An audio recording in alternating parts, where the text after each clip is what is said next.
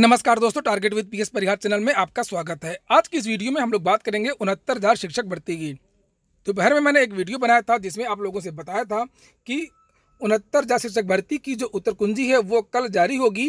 और इसका जो परिणाम है, वो अब एक सप्ताह बाद ही आएगा।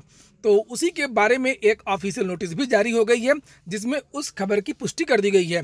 तो आइए देखते हैं कि आखिरकार उस नोटिस में क्या लिखा। ये वो नोटिस जो पीएनपी ने जारी किया, जिसमें लिखा है, छह जनवरी को जो परीक्षा हुई थी, और उसकी जो आंसर की पहले आ चुकी आठ जनवरी को। यहाँ पे लिखा हुआ है, आठ जनवरी को उसकी एक आंसर की, चारों सीरीज़ की आ चुकी है। उसके बाद में अंतिम उत्तर कुंजी जो आज 8 मई को जारी किया जा चुकी है, उसको आप लोग 9 मई यानी कि कल दोपहर बाद ही वेबसाइट में देख सकते हैं।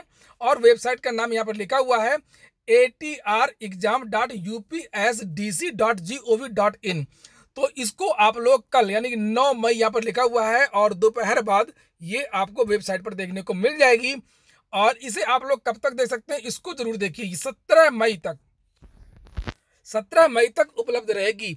उत्तर कुंजी, और इसका मतलब है कि जो आपका परिणाम है, अब सत्रह मई के बाद ही आएगा।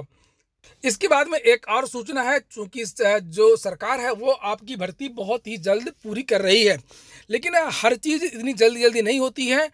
उसके लिए विद्यार्थियों को अभी मौका दिया जा रहा है टीटी के प्रमाण पत्र लेने के लिए और अभी मोबाइल अपडेट के लिए भी मौका दिया जाएगा। ये देखिए, बहुत सारे जिलों से इस तरीके की नोटिस जो है जारी की गई है और ये जो नोटिस है, ये जालौन ज़िले की है, जिसमें लिखा है कि सर्वसाधारण को सूचित किया जाता है कि संपूर्ण भारत में कोरोना वायरस कोविड 19 महामारी के कारण सभी शिक्षण संस्थान बंद हैं, चूँकि हाईकोर्ट द्वारा उनहत्तर हज़ार शिक्षक भर्ती खोल दी गई है, जिसके कारण प्रशिक्षुओं को शिक्षक पात्रता परीक्षा के अंक पत्र तो यानी कि टीईटी का जो प्रमाण पत्र है, उसकी बात है, हो रही है। लिखा है, दिनांक 11 मई और 12 मई।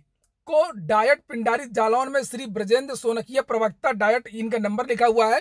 जो लोग जालौन ज़िले के हों, वो इस नंबर पर कांटेक्ट कर लें और आपको जो प्रमाण पत्र है, वो मिल जाएगा। इस तरीके के बहुत सारे जिलों से प्रेस जो विज्ञप्ति है, वो जारी की गई है। तो आप लोग जल्दी जल्दी से अपने जो डॉक्यूमेंट्स हैं, वो तैयार कर लीजिए। डॉक्यूमेंट्स की सूची आपको मालूम ही होगी, नहीं तो इसके लिए मैं एक अलग से वीडियो बना दूँगा। ये हो गया आज का एक महत्वपूर्ण वीडियो। वीडियो अगर आपके काम का तो लाइक अवश्य कर दिया करें। पूरा वीडियो सुनने के लिए बहुत बहुत धन्यवाद।